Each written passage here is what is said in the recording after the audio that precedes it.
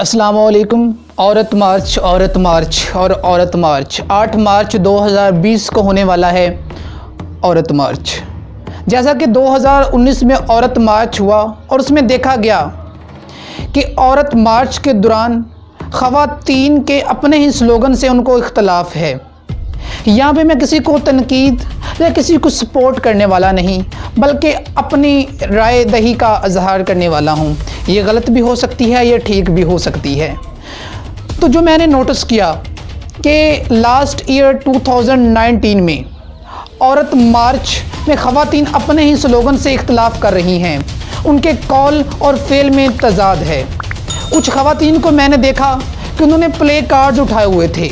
उन play cards पे लिखा हुआ था कि हम जिस तरह के मर्ज़ी कपड़े पहने किसी को एतराज़ नहीं होना चाहिए।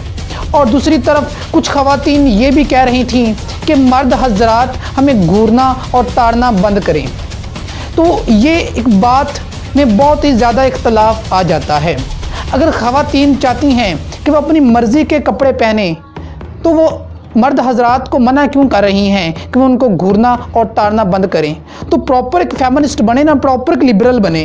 अगर लिबरल बनना भी है, कपड़े अपनी मर्ज़ी के वेयर करने हैं तो बाकी चीज़ों में भी लिबर्टी होनी चाहिए। कोई आपको देखे भी तो आपको एतराज़ तो नहीं होना चाहिए। Then you have no issue with staring अगर आपको लिबरल बनना है तो फिर प्रॉपर लिबरल बने ना। कोई आपको देखे भी तो आपको फ़र्क नहीं पड़ना चाहिए।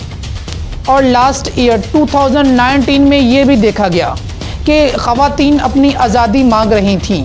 वो अपने नकाब से आज़ादी मांग रही थी। वो कह रही थी, अगर हम बाल खुले भी छोड़ें तो किसी को क्या एतराज़ अगर हम नकाब करें, ना करें, किसी को क्या एतराज़ है?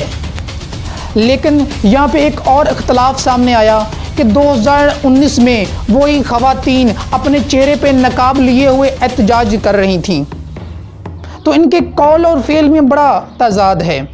फिर ऐसा नहीं होना चाहिए। अगर आप कह रही हैं कि हमें नकाब नहीं करना और ऊपर से आप नकाब करके एहतजाज कर रही हैं तो आप फिर नकाब उतार के करें ना, अपने आप को अजहार करें, फिर सड़कों पे आएँ, फिर बैनर्स उठाएँ तो तब बंदा अच्छा भी लगता है।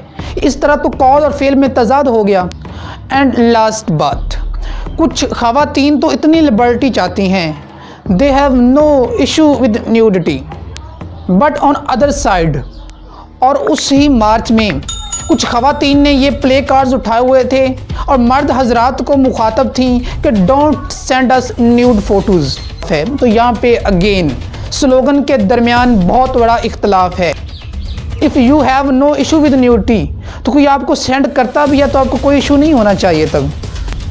And dears that's not fair at all and on one page dudes at the end I am saying again sorry कि वीडियो बनाने का मकसद किसी को तजलील करना या किसी को तनकीद करना या किसी को सपोर्ट करना बिल्कुल नहीं था।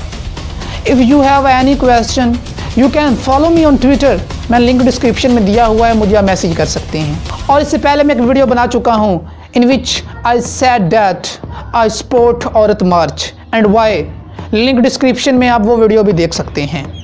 वीडियो देखने का शुक्रिया। अल्लाह हाफिज़।